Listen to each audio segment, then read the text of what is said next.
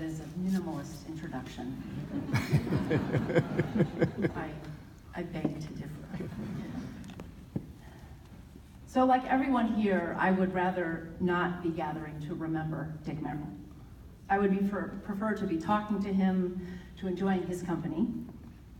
Lissa, Patty, John, Maria, Stephen, I'm so sorry for your loss.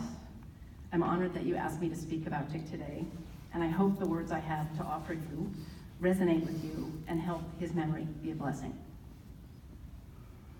I met Dick in the fall of 1992 when I was a first year law student here. I visited his office hours to see if he thought I might be able to enroll in his spring 93 course on Native American law, which, as a Westerner with some exposure to the Native American tribes in my home state of North Dakota, I was very eager to do.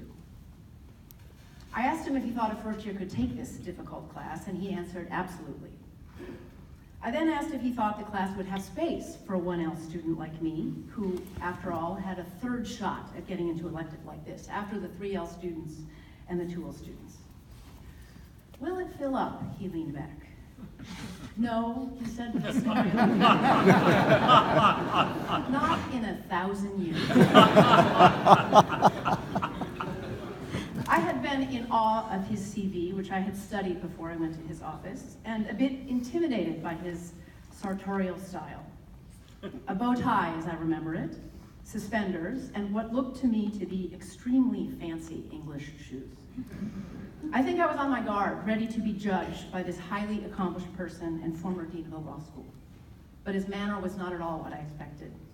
He was completely comfortable in his